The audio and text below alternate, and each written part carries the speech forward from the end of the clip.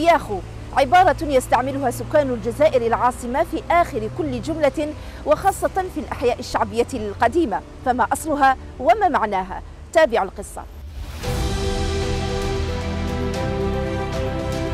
لا تكاد تخلو أي جملة يقولها شخص من العاصمة الجزائرية من عبارة ياخو وتعد الكلمة علامة مميزة لسكان العاصمة ولها لكنة خاصة يصعب تقليدها. ويمكن تمييز الشخص الذي يستعملها مباشرة بأنه من العاصمة. وتعني ياخو بالعربية الفصحى يا أخي.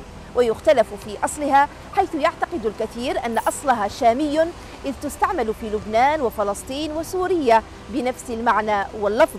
في حين يرى آخرون أن أصلها جزائري جاءت اختصارا لأخي وتستعمل كثيرا تعبيرا عن تقديس الأخوة وإعلاء شأنها أخبرونا في التعليقات ماذا تعرفون عن عبارة ياخو؟